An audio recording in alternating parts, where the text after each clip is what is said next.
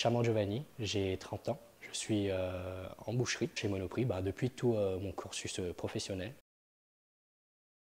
Le désossage, de l'épluchage, ainsi que des commandes et quelques temps les inventaires aussi. ça m'arrive de temps en temps aussi de remplacer le chef. quand il est en vacances, je prends le relais, je passe les commandes, je prépare le libre service, je fais aussi tout ce qui dit commande, inventaire tous les mois. Ça avait débuté en 2018. Euh, j'ai été recruté par Monoprix euh, à l'île de la Réunion. À ce moment-là, ils avaient fait un job dating. Sur le coup, ben, j'ai postulé. Euh, après, quelques temps après, ben, on est venu ici. Il y a eu une mise en place par rapport à, la DOM, etc. Et ensuite, ben, le cursus a commencé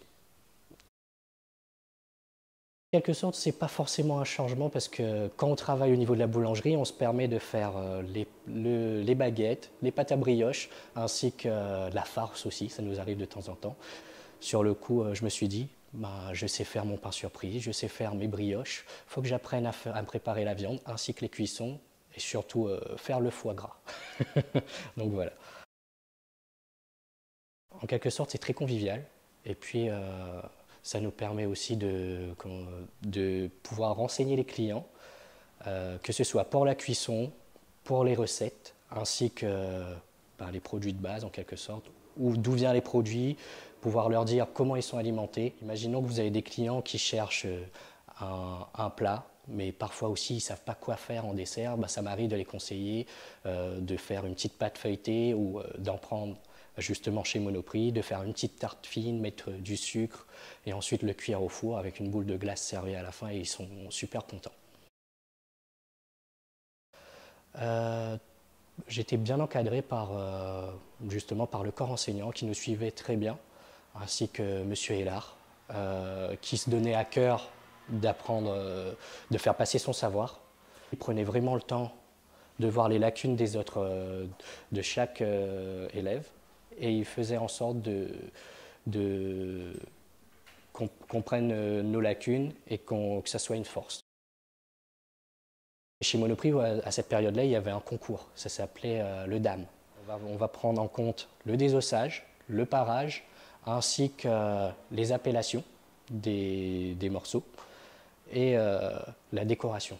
Il faut mettre en valeur les produits ainsi que ainsi que la disposition euh, des plats. Et euh, dans cette période-là, j'ai fini troisième du concours chez Monoprix. Peu importe le corps de métier en artisanat, la boucherie, la pâtisserie, la charcuterie, euh, grâce aux formateurs qu'on a eu ici, ça me tenait à cœur de faire passer aussi ce savoir-faire avec les autres apprentis que j'ai eus. C'est des métiers surtout qui font partie du patrimoine français. C'est surtout ça pour moi l'essentiel. Et puis on est reconnu dans le monde entier euh, par rapport à tout ça. On m'avait proposé euh, à l'heure actuelle d'être euh, responsable.